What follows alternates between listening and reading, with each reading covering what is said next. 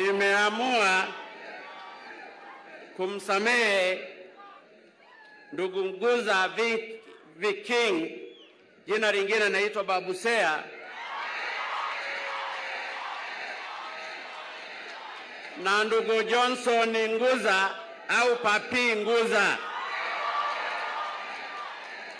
Hivyo nao waachiwe huru kuanzia leo.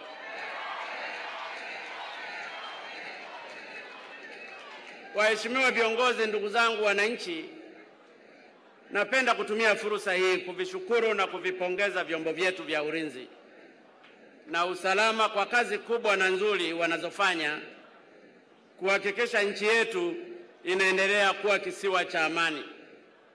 Lakini zaidi ya hapo, nawapongeza Watanzania wote, kwanza kwa kuendelea kutoa ushirikiano kwa vyombo vyetu vya ulinzi na usalama, lakini pili, kuendelea kudumisha muungano pamoja na umoja na mshikamano wetu. Nataka kuvihakikishia vyombo vya ulinzi na usalama vya Tanzania, jeshi la wananchi, polisi, magereza, zimamoto na wote, niko pamoja na ninyi. Nitahakikisha masilahi yenu yanazingatiwa kikamilifu. Nataka mtembee kifua mbele kama mashujaa, kama ambavyo mlivyo mashujaa katika nchi yetu, kwa vile siku zote mmekuwa mkituletea heshima kubwa. Wito wa Watanzania wote leo tunaposherehekea miaka hamsini na sita ya uhuru wa Tanzania bara, tuendelee kuzienzi na kuzidumisha tunu za amani, muungano pamoja na umoja na mshikamano ambazo zimeachiwa na waasisi wetu.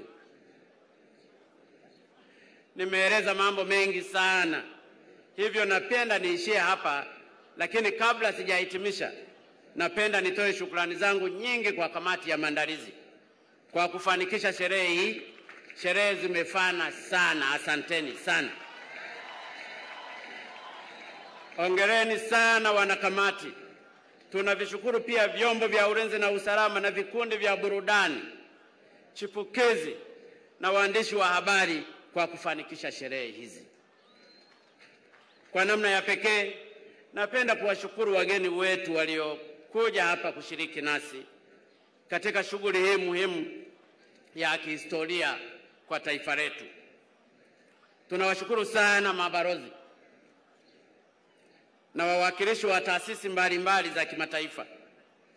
Napenda niwahakikishie kuwa Tanzania itaendelea kushirikiana na mataifa yenu pamoja na taasisi mnazoziwakilisha. Mwisho lakini si kwa umuhimu, napenda kuwashukuru sana